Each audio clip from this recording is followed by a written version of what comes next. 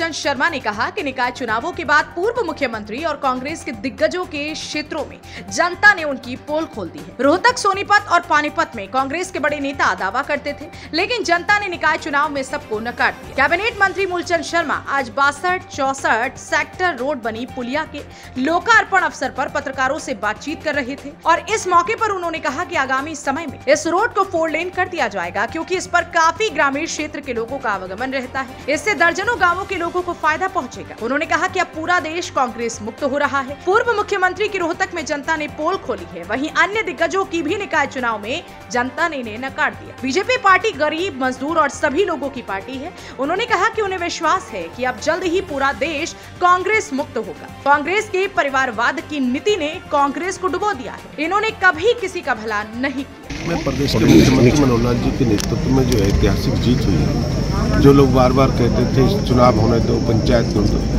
उनके मुँह पे जो जो जवाब मिला है उनके मुँह पर ये हरियाणा की ऐतिहासिक जीत है। प्रदेश के मुख्यमंत्री मनोहर लाल के नेतृत्व में सारे शहर में ग्राम में हर क्षेत्र में विकास हुआ सबका साथ, सबका विकास, सबका विश्वास।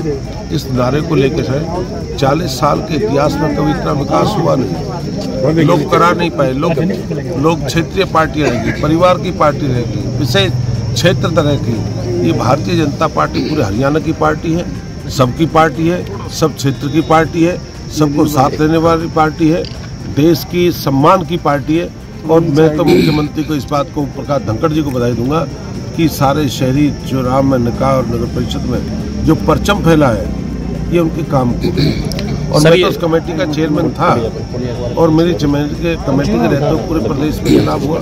हमने अंतिम व्यक्ति हर पन्ना पर कार्य किया कि आदमी का काम विकास कैसे हो। और जो काम बाकी उन्हें पूरा कर नहीं आज क्या है कि सबसे पुराना हमारा रोड है सोना अपना साहपुरा फतेहपुर रोड है और इस पर छोटी पुलिया थी बड़ा पुल का इसका निर्माण इरिगेशन महकमे ने इसे बना के तैयार करा है। एक करोड़ की लागत से और आने वाले से फ़ायदा क्या होगा?